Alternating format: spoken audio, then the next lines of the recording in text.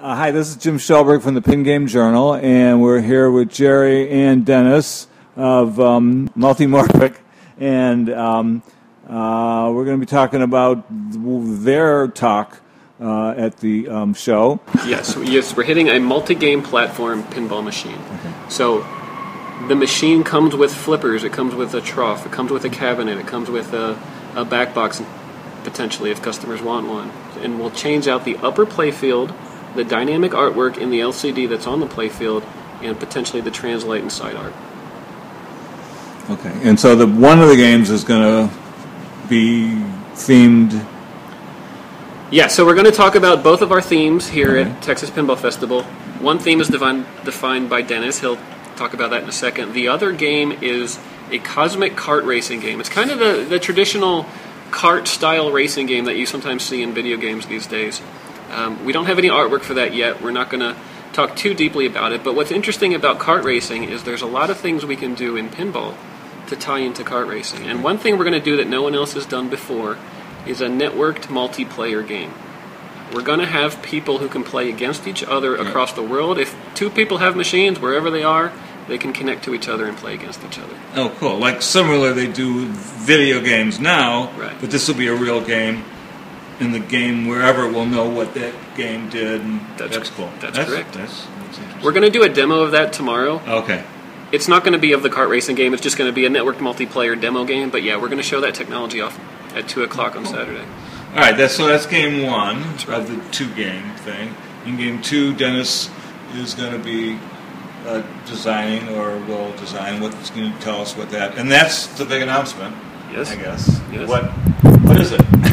It's well, it's an original theme, so I'm very excited about that. And I worked back and forth with Jerry trying to decide what direction the theme's going to be. And one of the first things I thought of was a zombie game, of course.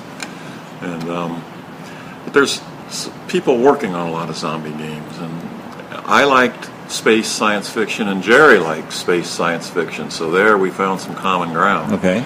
And I always liked the series of computer games, Space Quest games, Okay.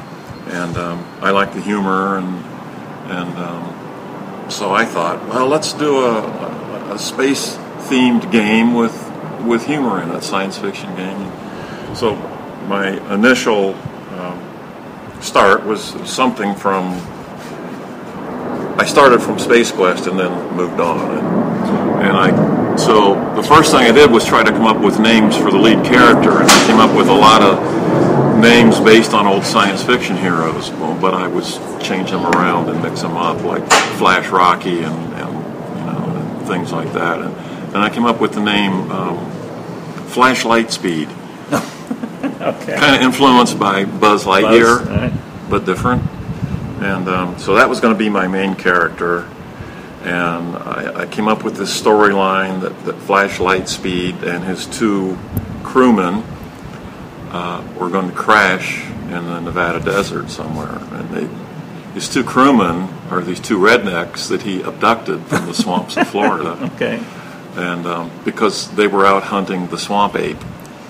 And one of the rednecks actually is a retired NASA scientist. Oh wow. And, and these two guys are based on my brothers. so their names are Ronnie Earl and Little Larry. And that's your brother's names. Yeah, right, yeah. And um, where Cool. was I? So okay, so they the, the story was they crash in the Nevada desert somewhere, and the and the ship is kind of disc shaped. So it starts rolling. They crash and bounce. It starts rolling. They roll past a sign that says Area 51, top secret. Keep on rolling. Roll past a sign that says Area 52, super top secret.